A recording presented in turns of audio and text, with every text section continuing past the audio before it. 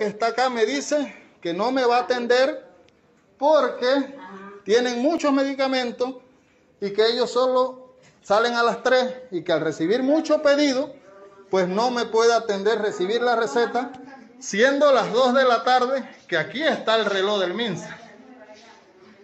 Entonces, yo me, la que está encargada de farmacia, me dice que cuando hay muchos pedidos o entregas de recetas, ellos pues deciden a recibir hasta una hora y no van a atender. Entonces yo me dirigiré a la administración porque dice que cuando tienen muchas recetas no atiende, pero entonces el asegurado tiene que esperar hasta la otra semana por las pastillas siendo personas de 86 años mis abuelos. Eso no puede ser porque yo estoy llegando aquí antes de las 2 de la tarde, 5 minutos. No puede ser.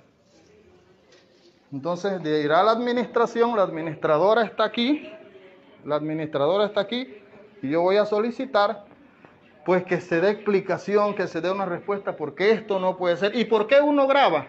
Porque esta es la evidencia que tiene uno con la mala administración que tenemos en nuestros servicios públicos. Así que yo sí quisiera que usted no encontramos ningún letrero que diga que hasta las 2, que esto, entonces eso no puede ser. Mis abuelos son de 86 años. Trabajo en un horario hasta las 12 y 35. Llego a la casa, tengo que retirar eso, donde viven ellos para venir, y me dicen que no me pueden atender porque ya son las 2 de la tarde y tienen muchas recetas metidas. Eso no puede ser. Eso es incomprensible. Eso no puede darse aquí. Entonces, si usted que es la administradora, no puede girarle una orden a ellos, no puede buscar la manera de que haya más personal. ¿Quién lo va a hacer?